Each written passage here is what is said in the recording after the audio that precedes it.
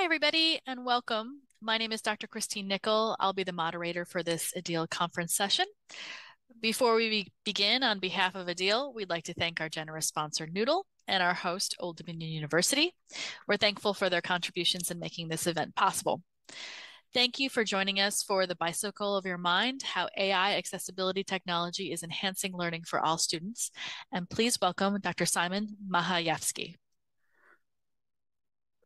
Hi, everyone, and welcome to our session. Um, my name is uh, Szymon Machajewski, and I'm uh, an Associate Director of uh, Academic Technology at University of uh, Illinois, Chicago. I've uh, been teaching computer science for the last uh, 20 years or so, and my passion is in accessibility. Our, our, department takes care of accessibility for the academic technology uh, that ranges from LMSs, uh, video systems, and, and others.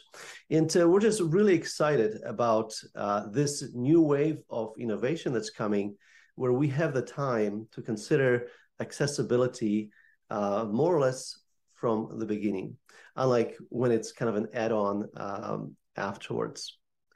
So in this session, I want to open up with uh, research that was done and published uh, some years ago uh, in the 70s in the uh, Scientific American, where uh, there was a, a quick uh, kind of overview of the locomotion uh, capacity of various animals, and also um, we added some machines to that. So what this research was about is to see what creature or machine could be the most efficient at moving and so you really want to be in the uh, lower right side of this graph, meaning that with very little energy, you can move very, very large objects. Now, human on foot kind of is in the middle of the pack where we have some animals that are much better at carrying uh, weights, such as horses and others. And then we build machines to carry even uh, larger weights. But it was interesting to find that a cyclist, so a human being on a bicycle, was actually in this kind of a magical spot where, where at a very little energy, we were able to carry quite a large load. So the efficiency of that combination of a bicycle and a human being was really a sweet spot for efficiency. Now, this research has been used uh, uh multiple times to talk about this concept that we are tool makers. Human beings are tool makers. And this is how we beat or we overcome natural differences. Because once you are on the bicycle, you might have otherwise uh, a very athletic body, you might have uh, perhaps just a standardized body, and yet you are able to go far and you are able to do it very efficiently. So I want to start by introducing humankind as tool makers, which is why this adoption of this new tool, which is AI, is hugely important. And it's so important to remember that when we build tools, not only do we overcome difficulties and create new opportunities, but by creating tools, we also create transformations in our society. Now, today, you of course can see how maybe the modern camera on the phone uh, changed the way a police uh, does their business, changed the way we report on wars, changed the way uh, we look at uh, evidence. Well, bicycles back in that day, so it was end of 19th century, uh, were a symbol of women's emancipation. In fact, the women's uh, movement for voting its symbol was the bicycle. And, and I encourage you to, to, to do a little research in that direction. But bicycle really changed the fact that women were able to get places in pairs or on their own and do that safely and quickly. So technology can transform our society and it can make tremendous difference in various things that we tried to do before. So we are tool makers. Now, going back to uh, accessibility, I want to take as an example audiobooks. Now, I love audiobooks. Um, I, I um, they help me to uh, uh, use my time well, especially when traveling, and uh, they kind of speak right into to my heart. But uh, audiobooks have various benefits. I just jotted a few of them down, uh, such as they help to reduce negative thinking. Now, some of these benefits overlap with reading uh, books, uh, but it's more like a Venn diagram, probably, where uh, textbooks will have uh, some benefits uh, and, and then audiobooks some others. However, in this list of benefits, notice that some people actually believe that audiobooks have the same benefits as reading. that, of course, here with audiobooks specifically, they help to relax our eyes, they impact our sleep, but the audiobooks help to build literacy skills. Now, maybe some uh, educators kind of react to this. Oh no, no, reading is just so much better, and and there there, there are plenty of people that uh, are so affected by reading where they will remember where they were when they read that book or where they were when they read that passage, and it it, it is embedded into the way they think but not not others. Some people, such as people with dyslexia, might struggle to identify so well with reading as as the intake process. So that leads me to the fact that when audiobooks were introduced, of course, audiobooks came from um, uh, recording on tapes. It came from helping blind people to uh, step into the world uh, of books by by kind of personal transmission where they could change the books anytime they wanted and yet academics responded in a very familiar uh, way audiobooks right might be cheating maybe they're not because we culturally were so embedded into thinking that a good student had to read what they were assigned and then writing was how we assessed them so this um, example of audiobooks helps us to see that we are tool makers we in the past have already built beautiful tools for students with disabilities, but really for everyone. Because audiobooks help people who are uh, who do not have disabilities, who uh, have uh, who who perhaps are in transit, uh, or, or, people uh, uh, where, where there's a second language involved. So I think audiobooks are a great example, their history and also their impact today on how technology can help, just like the bicycle, the tool making bicycle. Now, before we get into more detail on how AI and accessibility work together, I want to address another uh, issue here. And this issue uh, was uh, well described in this uh, paper about entangled pedagogy. Now, what, what, what do we mean? Well, faculty have struggled with innovation in uh, technology for years. Take the calculator, take even online learning, or as we saw, audiobooks, uh, you know, some people felt it, it, was cheating to listen to an audiobook versus to, to read it. So sometimes we might feel like there is a, a technology cart and a pedagogical horse. And we sometimes end up putting that uh, technology cart uh, in front of uh, the pedagogy horse. And that certainly feels like that sometimes with online learning. How are you going to use all these tools in your teaching versus here is my pedagogy. How will these tools uh, help me uh, with that? So this quote here that entangled pedagogy encourages teachers, students, and others collaborate was embracing uncertainty, imperfection, openness, and honesty and develop pedagogical knowledge that's collective, responsive, and ethical. So what we mean here is that sometimes it's okay for a faculty member to say, I don't know, and show vulnerability and say, well, you know, this chat GPT or, or these other generative AI systems, at this point, I don't know. But I will invite students to collaborate with me and entangled this way, we are going to um, uh, carry out new knowledge. We're going to work on this together. So this uh, paper was primarily uh, addressed uh, uh, for online learning and, and how technology there is often has a bigger focus than pedagogy but we can add AI to it as well and all the new waves that will come afterwards. That uh, faculty, when say when we're asked by a student with disabilities about some accommodation, it, it, it might be the way to handle this. I don't know, but I'll check on that. We're going to learn together. We're going to work through that together. So the next uh, piece I want to share is kind of where uh, AI uh, is and and um, some of the tools that I'm going to show you uh, how they rank in this kind of onion shape of AI. So artificial intelligence in general is quite broad. It uh, includes uh, using computing in a different way, in a way where the machine perhaps is learning on its own or it's processing uh, camera input and it's recognizing, it's able to match pictures to, to things. So the layer of machine learning, it's quite commonly used for the last probably 15 years or so. That's the ability of computers to learn from experience on data without human programming. This was quite a breakthrough when this technology was developed. Prior to that, you had to write a program, tell it everything you wanted to do, and you couldn't expect uh, something else. Uh, it would have been an error or a bug if, if it did something else. So machine learning is used with accessibility quite extensively uh, uh, for, for, for a decade or so.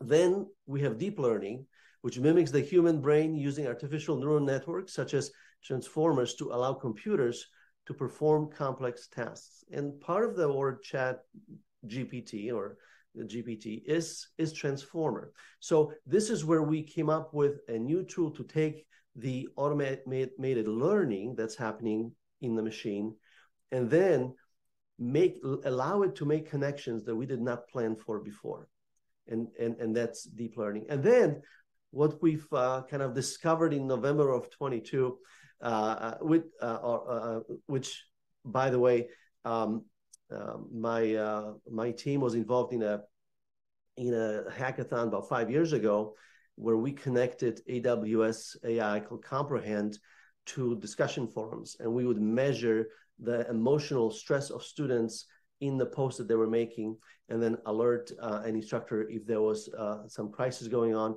or we would graph out how happy students were in the course. So that was about five years ago. But uh, generative ai made the news recently. And this is where after the deep learning happens uh, the system generates new text audio images uh, video or code based on content it has uh, been pre- pre-trained on. So this is where we have kind of bubbled up to. And ChatGPT, of course, is the chat interface for the deep learning, for the machine learning, for the AI. So in addition to, to chat text-based input, there are other ways to get there. Now, a quick uh, uh, thought about um, policies, because the moment we talk uh, AI, some in the university will respond, well, do you have a policy for that? Do you put a policy in your syllabi? So I would encourage you to look at what's happening in the UE, uh, in the uh, EU, uh, for um, European uh, uh, Union. Um, and so the idea there is that they were able to prioritize the use of AI and then how to manage the risk. And so if you look at um, the high risk area, to access employment, education and public services, safety components and vehicles, law enforcement, etc. They view that as high risk. And this is where our educational content likely is going to lie as well. Um, and then social scoring, mass surveillance, manipulation of behavior causing harm, they looked at as unacceptable. So we have to be careful when we when we adopt AI, and we want to make sure that students have access to it, not just uh, from the view of disabilities, but when we pay for certain versions of ChatGPT, and we have already learned that the output of the paid version is actually different in quality than from the free version, this also um, uh, kind of provides uh, uh, considerations for access. Okay, so we are right now uh, in the path of development of AI in version one, where the command line or the chat interface exists. There are some innovations, which I'm going to show you in version two, this is where the graphical user interface is happening. So instead of having to provide a prompt, just like maybe in the DOS or, or a Linux system, we had all these prompts we were doing. Uh, now we're going to use buttons, sliders, in order to produce output from AI. And I'll demonstrate uh, to you how, how that will happen. Afterwards, and we know this will happen because this has happened with other computing uh, systems, we're going to reach the universal user interface, such as uh, natural language processing and video processing, where we might be just talking to uh, Alexa skills or other systems, and it will uh, uh, it will allow us kind of a universal approach. So think about how we communicate today. You can make a phone call, right? You can email, you can text, and text was this kind of a synchronous uh, interface. Uh, a lot of people are still doing text. And then you could do FaceTime. And so FaceTime is when you see the person and, and you're talking to them. So the, this is the growth of interfaces that we uh, are likely to see. But we won't be talking about AI for much longer because AI is going to become ubiquitous just like the internet is and databases, right? So we're not saying, hey, in my learning management system, the database is so great. This is so invisible, it's under the covers that no one is even talking about it. So just like uh, the idea, hey, we used to say that a lot, it's on the internet or, you know, put it on the web we no longer talk about it. It's basically how we do business. So we look forward to switching from this kind of a preview of the technology with ChatGPT is, which is why it's free, into its uh, more mature form and an enterprise level. So now I'd like to show you uh, one of the innovations that's that's taking place at the graphical user interface level.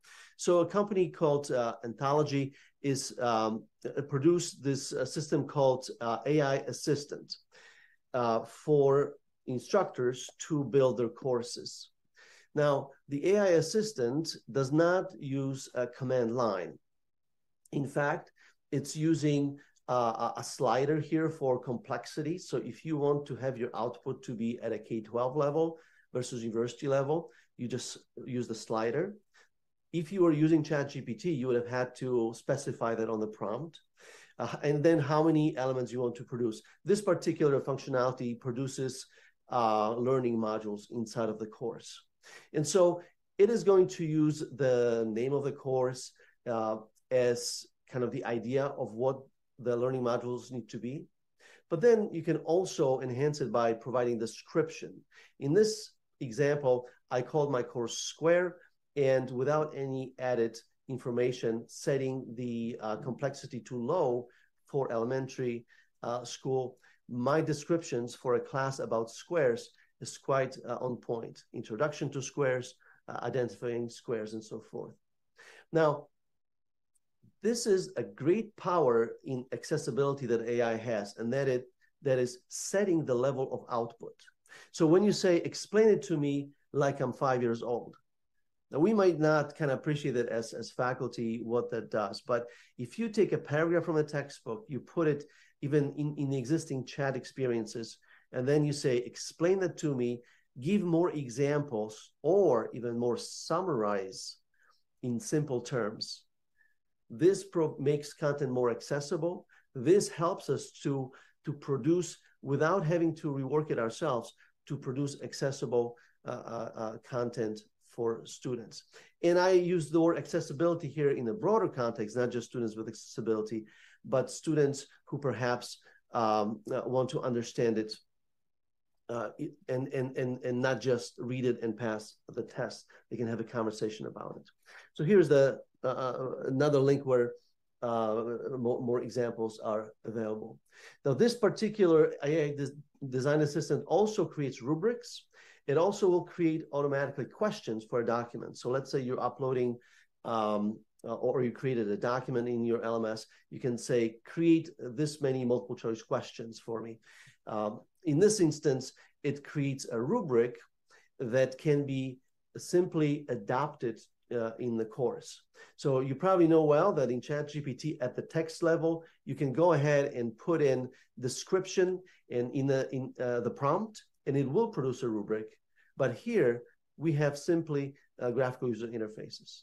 Now, for accessibility, of course, um, text uh, level, so chat style systems, are a little bit easier to provide accessibility for. So, for screen readers to work with them or to allow resizing or contrast, web accessibility steps into this really well. And so, when this particular product was deployed inside of uh, the learning management system, the regulations and the requirements that the vendor had for the rest of the learning management system also apply to this graphical user interface.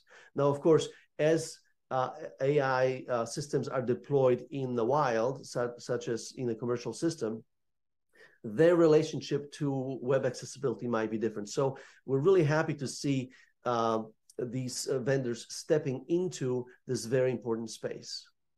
Now, there is uh, even deeper adoption of AI for accessibility inside of um, LMS systems. And uh, if you teach for a school that uh, is using this particular product, and you could be uh, in, in just about any LMS to do that, you have been using machine learning.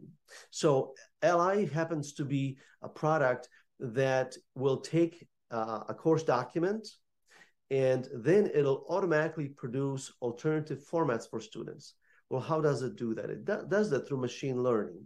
So it will kind of sink its teeth into a document, whether it's Word document, PDF, or another document, and it is going to learn about it so that it can present it as HTML, which is often uh, very easy to consume for a screen reader, uh, EPUB, which works well on the mobile device, electronic braille, which of course has a very uh, specific application, uh, or uh, it'll produce an audio system. Now we just talked about audiobooks a little bit, but this allows us um, to um, uh, to to connect it uh, to your content. Uh, I'm looking briefly at the chat.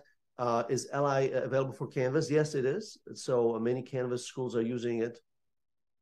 And the um, uh, design assistant right now is uh, deployed uh, only in the uh, Blackboard LMS.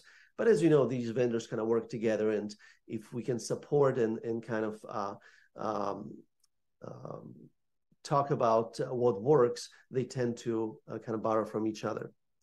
So then we have the Beeline lead, Beeline reader. Now, I don't know if you ever looked at the Beeline reader, but I encourage you to uh, take a quick look because it's an excellent tool for changing the way people read. And I'm really happy that this is one of the uh, the options that's produced for students because once you kind of uh, realize that you know reading is of course a skill, but some mindsets and some eyes in in some uh, you know circumstances kind of make reading uh, easier. So the Beeline reader really helps to go through content and to really be on that bicycle uh, for reading. And then the immersive uh, reader that's available from uh, from Microsoft. Now I will talk about Microsoft in just a little bit more, but uh, this particular tool uh, is just uh, awesome when it comes to the options it provides, the the readability and um, how your document is then uh, uh, shown. And then uh, this particular uh, machine learning system also is able to translate into multiple languages. And so translation was one of the features of AI systems uh, for a long time. It just, again, we never called that AI, right? We just kind of assumed that, hey, uh, these are automatically translated. Uh, it's just what computers do.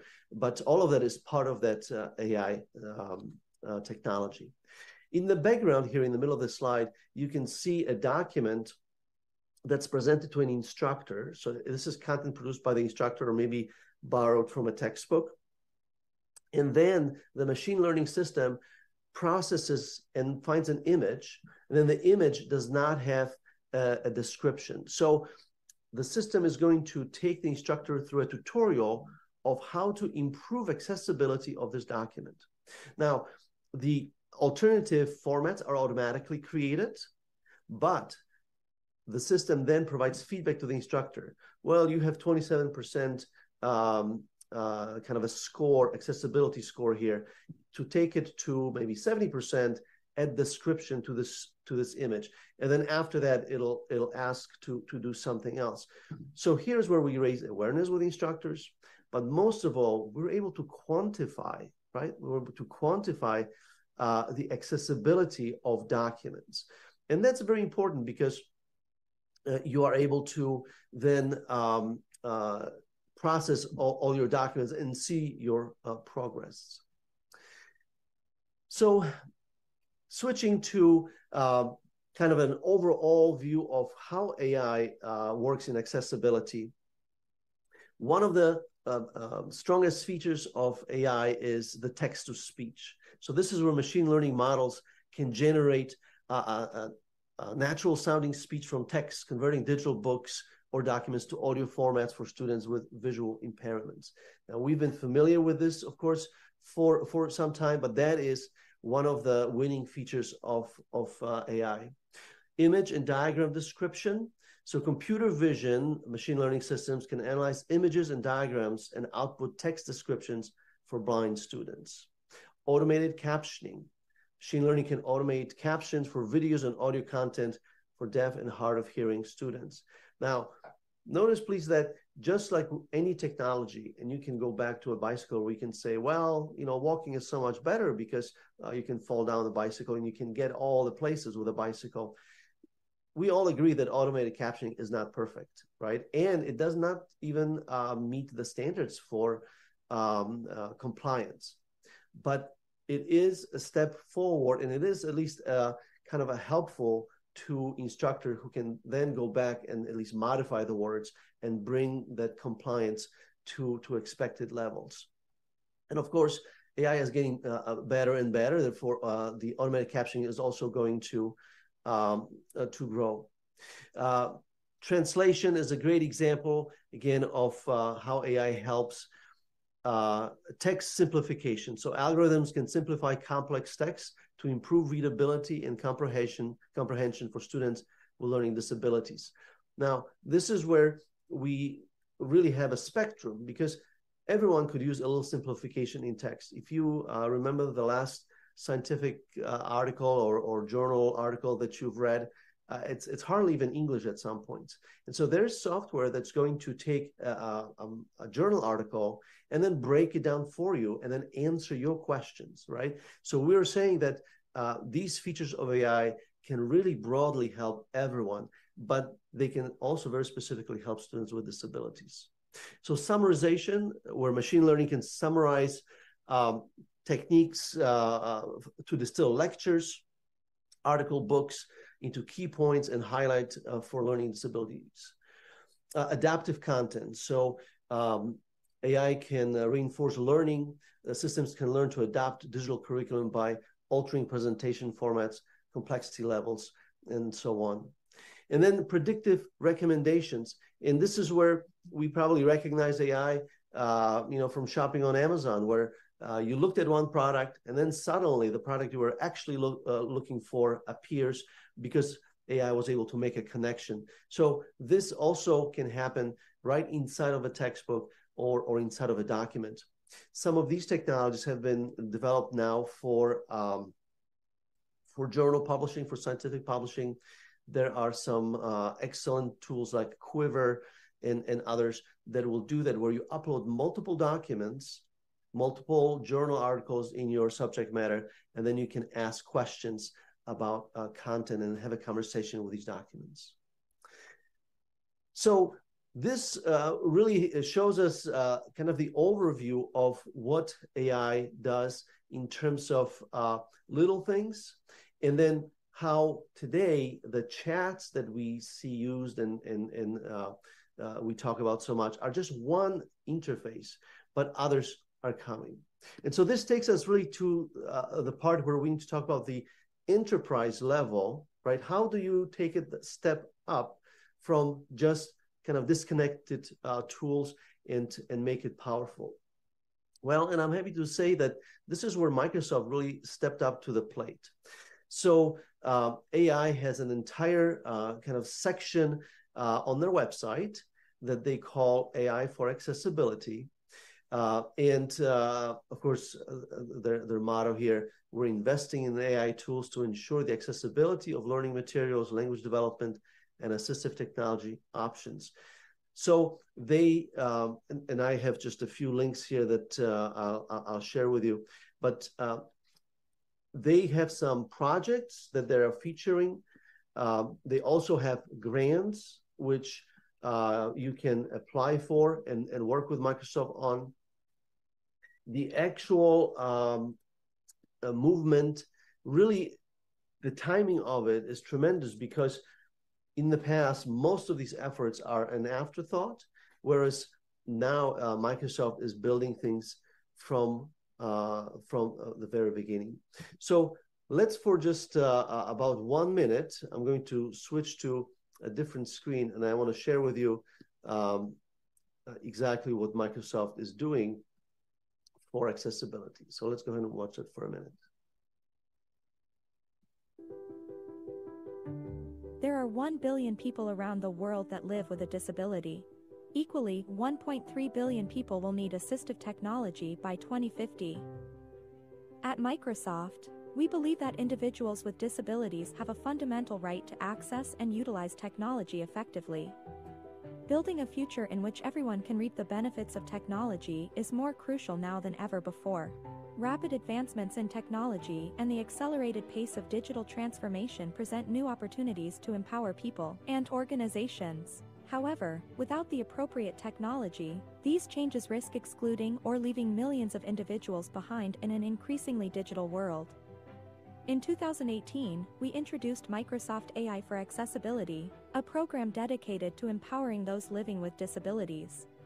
We want to invest in ideas that are either developed by, or in collaboration with, individuals with disabilities.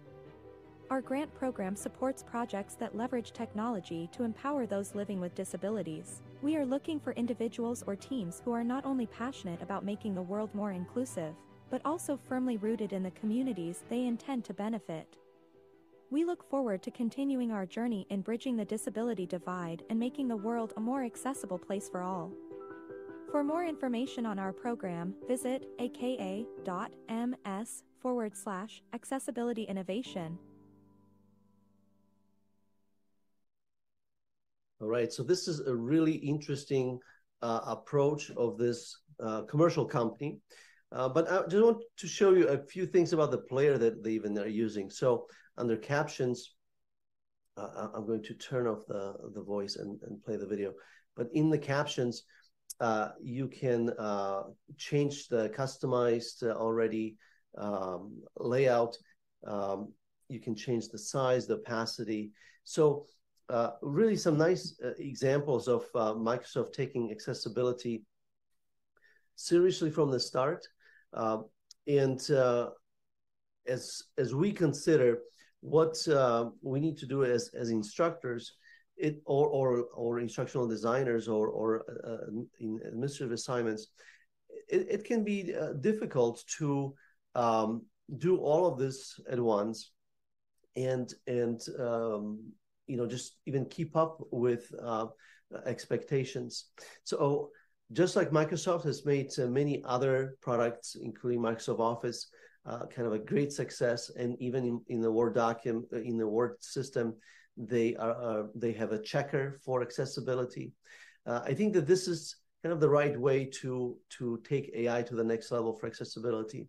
And what you saw earlier uh, through uh, Anthology's LMS, the AI design assistant, this actually is produced by Entology, but the backend is Azure from Microsoft. So their innovation uh, it, was also used by, by Anthology to produce some of the features uh, that we saw. Now, as we think about accessibility, uh, you might ask yourself, you know, what, what can I do next? Because oftentimes uh, the rules for accessibility continue to change.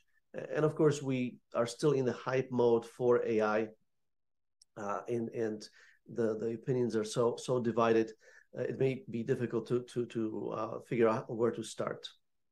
So when it comes to AI for accessibility, uh, my recommendation would match uh, recommendation by Dale Lane, who has um, a really nice um, uh, TEDx talk on kind of the topic of where um, where education needs to be in this uh, with this new AI innovation. And the point that he's made in, in the TEDx talk is that if you consider example of typewriters, where you know initially in order to produce publications, you have to have someone type it out. School stepped up and we would teach t- typewriting. And then when the digital age came along, uh, and you could do uh, publishing and writing on the computer, uh, school stepped up and we started to uh, to teach um, typing on, on a computer, editing, word processing, and so forth. But the three steps that are kind of required in the process is first kind of awareness that hey, the word of typewriters is now over. Now let's go ahead and switch into typing on a digital system. So that awareness, of course, grows in the commercial system and it's transferred into educational system. And then we tell the students first, hey, this is where we are and this is why you're going to learn uh, typing on the computer. Then there's the process of us helping students to develop the skills how to use the technology, such as digital publishing. And then there's the process where this technology matures and is being utilized in the uh, in, in the community. It becomes normalized. That's basically what you do. Right now, I would propose that we are at the part where we need to raise awareness about AI literacy among our students. And so this is where I want to share with you a module that you can uh, plug in right into your course. And uh, at this point, it doesn't matter what uh, LMS you, you are using. And this course, uh, this module, so whatever course you're teaching, it'll simply attach a module. It's, it's going to talk about uh, what students need to know about AI. So uh, recognizing how pervasive it is around us, how social media um, uh, and and and um, everything else is using it. But it talks about uh, four competencies and it breaks it down into awareness, capability, knowledge, and critical thinking. And this particular module really helps students to uh, look more critically at the tools, why they're using them. So if they're going to use ChatGPT at school, is it basically to uh, you know cheat on this assignment, or um, am I using that because uh, this actually is going to uh, help me in my job? This actually is the way to to do these assignments uh, today, and then to critically evaluate the output. One of the principles that uh, AI literacy brings up is that we have to match the use of tools with qualifications of people. So when AI is used by instructors who are subject matter experts, you can validate the output of, say, generative AI. And so we make this way the use safer, more responsible, this critical evaluation. However, if people who are not qualified to, to um, verify the output, if they're using uh, generative AI, then suddenly you might have a difficulty where they are relying on this output. The output might have hallucinations. It might take them in a completely wrong direction, but they were unable to, to critically uh, evaluate the output. So uh, critical thinking skills, I think, will have a huge role moving forward. And the first step is to share AI literacy with students. And doing so with students with disabilities of course makes makes a perfect uh, sense here as well. So really, uh, conferences like uh, like this one helps us to get uh, some ideas, some tools. But at the end of the day, um, AI is going to continue to become more and more ubiquitous in something that we will probably talk less about because it will simply result in individual tools that are working, that are helping us, and we won't have to kind of um, uh, go back and forth like we did with audiobooks, whether they are cheating uh, or not. Well, at this point, uh, I wanted to open up to uh, any questions. Um, uh, feel free to put a question in the in the chat, or if you want to unmute yourself and ask a question, we have just a few minutes to do that.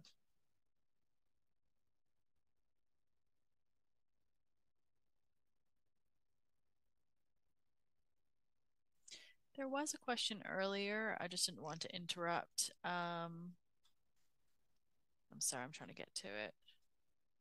It's talking about the UDOIT accessibility in Canvas, the accessibility checker. Um, I think it was in relate.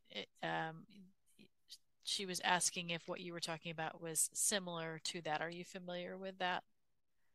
Checker? So, so I think it related to uh, the, the, the Ally, Ally product. yeah you're right that um, uh, no, no, I'm not aware of what uh, that particular tool does. But Microsoft Word has a checker. Uh, I think Adobe uh, Writer has a checker as well. So these tools are great when you are, uh, you know, creating the content. Um, but no, I, am not uh, aware of the UDOIT process. But I'm happy to, Julie, if you want to say how it works, feel free to to tell us. Um, Yeah, so can you hear me? Yes. Um, the UDOIT accessibility checker, and I just looked it up, and I guess it's um, I put the the link in there. Um, I guess it is the uh, accessibility assistant for Canvas. If you go to that link, um, we use it at the University of Wisconsin Madison, and it basically leads you through. If you have a course in Canvas, you can run the UDOIT accessibility checker, and it comes back and tells you how many um, non-accessible items it found in your course, and you can categorize them by type, um, and then you can fix them. And uh, I don't think it it won't like automatically fix them for you, but it will put it will sort them into um, the easiest to fix. You could start with those, or every you know you can go one by one, and then you can see like if it's missing alt text, um, you can add that, and then go through each thing. So it just reminded me of this when you were showing Ally. Yeah, thank you, and and and certainly um, uh, accessibility uh, checkup uh, makes makes good sense. Um, I think the awareness, of course, that it produces, right, just to indicate that hey, some of your content really needs a second look. But I, I wouldn't be surprised if uh, um, basically AI has been kind of in use for these elements uh, for quite some time. We just never called it that. Um, and and you know what I what I like about Ally is that it can take um, uh, you know larger files uh, and then produce those alternative systems, so or alternative formats. So at this point, it uh, even without the instructor touching the content, you know, it, it, it provides for say translation or it provides for the audio recording. But uh, yeah, certainly uh, various LMSs uh, treat accessibility very seriously. Uh, but I, I know that Ally is uh, definitely available for Canvas as well. Yeah, I think our institution was looking into that as well. Um, another question uh, could you provide some resources for doing image description or alt text using ai has anyone had have do you have or does anyone else here have experience doing that for online courses? No right now I, I couldn't tell you that there's an embedded tool for that. I think part of the difficulty uh, is same as uh, automated uh, captioning. In other words uh, the technology does exist but um, um, the the kind of the levels of efficiency uh, uh, may not be there yet. So uh, there's nothing that uh, we have uh, embedded already uh, in in LMS, but the technology is is kind of ready to go there. Um, I will say that um, um I, I I've, actually I think it might have been um, it, it might have been in um, LinkedIn where uh, it does generate automatically kind of suggestions for for for uh, description. So it'll say automatically created uh, image description. So at least that Microsoft product, I think, is kind of uh, uh, starting to use it. We have about a minute uh, or two left. If there's anyone that has a, a quick conversation or quick question. Think these are just notes um, talking about the the um, what you shared. Um, why don't I go ahead and wrap it up? Um, first of all, I wanted to let uh, wanted to thank you, Simon, for your presentation, um, and uh, and thank everybody for attending. I'm going to go ahead and put in the chat um, a link to the the conference evaluation. If you could um, put your evaluation for the session in. Um, and then also I wanted to congratulation congratulate the session winner, and I apologize if I um, mispronounce your name, Manaka Navarat Navaratna. I'm sorry if I if I mispronounced it. Could if you wouldn't mind, Manaka, if you're still here, um, putting your email address in the chat so I can um, put that down for our folks. Um, and then uh, otherwise, thank you everybody for attending. And I think we have a 15 minute break before the, um, the next session.